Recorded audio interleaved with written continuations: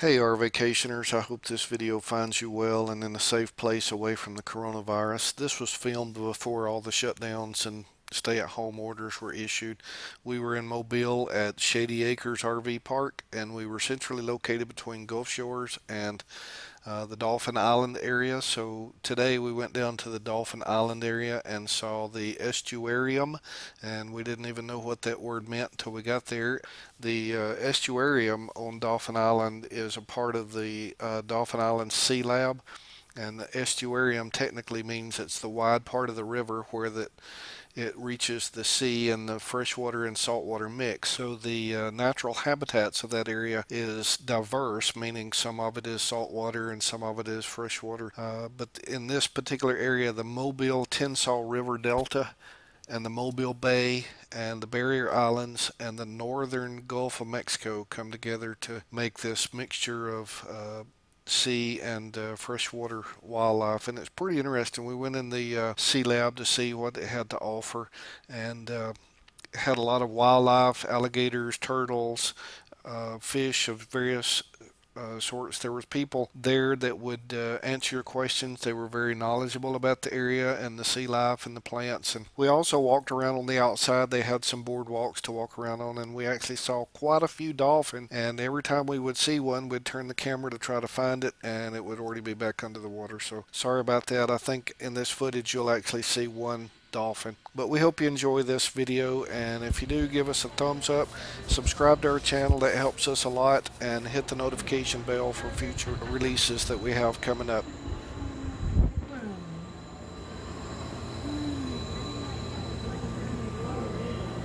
Get the little turtles going up the tree stump and then on the little log.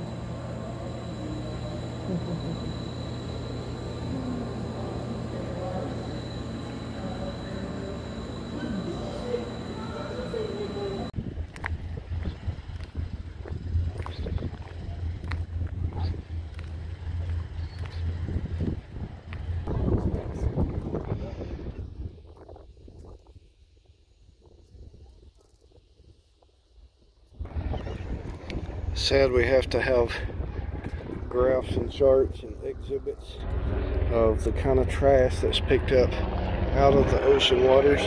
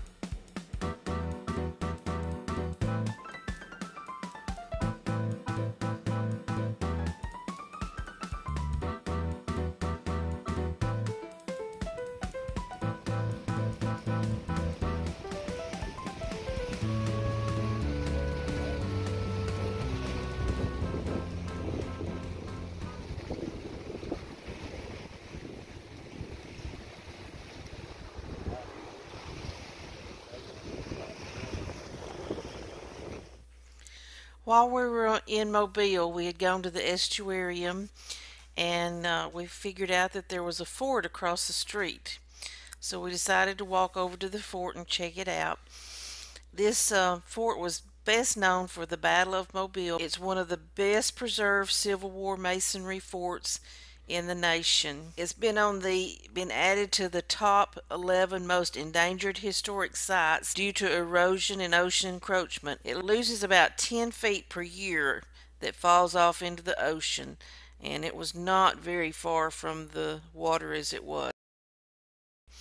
Uh, the fort had the original cannons that were there when the fort was built. It still has a little blacksmith shop, uh, kitchen that they would cook in.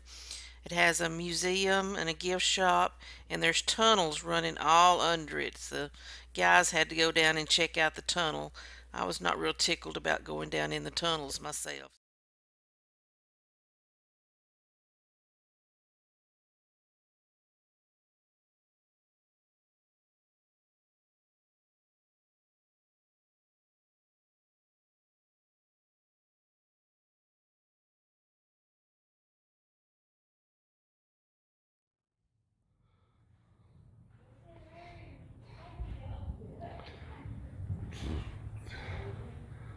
This is in the underbelly of the fort.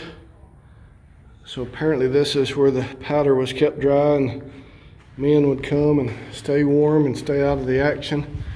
The brick, look how the brick is tapered right here so you can get your firearm out and shoot anybody coming this way.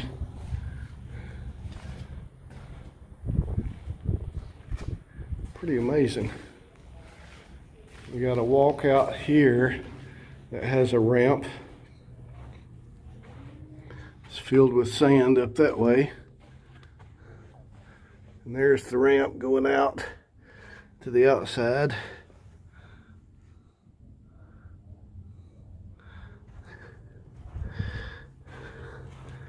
I'm going to see if I can make it back up the steps.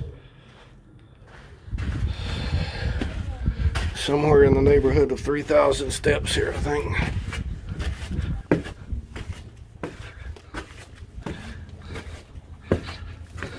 There he is, he made it. You can see here the damage to the wall from the USS Chickasaw. The Chickasaw was built for the United States Navy during the American Civil War. The ship participated in the Battle of Mobile Bay in August of 1864. The Chickasaw fired 25 shots at Fort Gaines and it itself was struck on her smokestack. On the 6th of August, the ship bombarded Fort Gaines for two hours in support of troops encircling and blockading the fort. We knew we wanted to go see Fort Gaines, but we didn't realize there was an admission fee to go in. But I'm glad we decided to pay the fee, even though we had an hour left in the day. It was six dollars a person for adults to go in and through the gift shop. But then once you're in the uh, fort itself, uh, it's pretty impressive what all you see, how the people lived back in those days and how the fort operated and how the cannons worked and how they could rotate the cannons. And there's just a lot more to be seen once you go in and it made it worthwhile. Uh, so the trip was, was well worth the six dollars each that we paid to go in. I uh, just wish we would have had a little longer time during the day uh, to enjoy that area.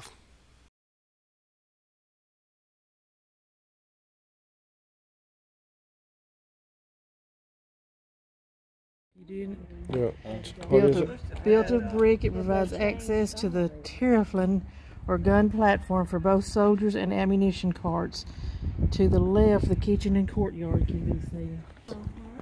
This is one. We'll climb the mountain. Climb on the mountain.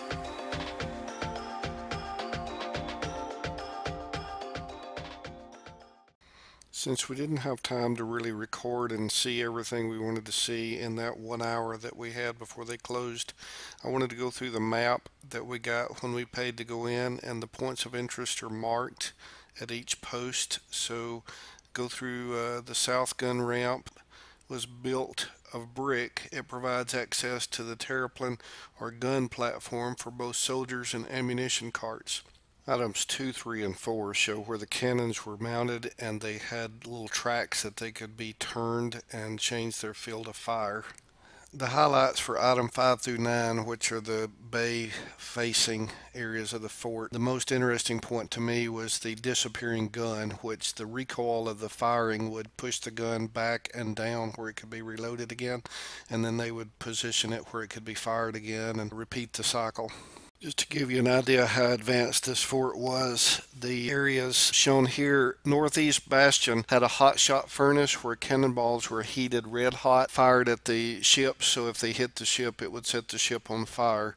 Also, the latrine area was pretty crude, but it was built with a tunnel so the tide would come in and come out and wash the uh, waste away. So it was self-maintained by the ocean tides.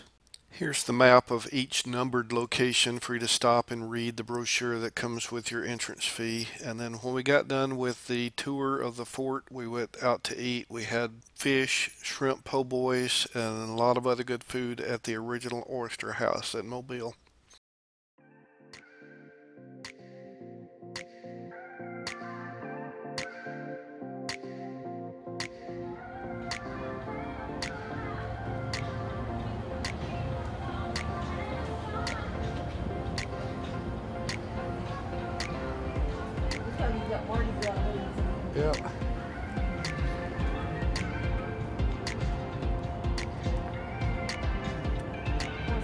We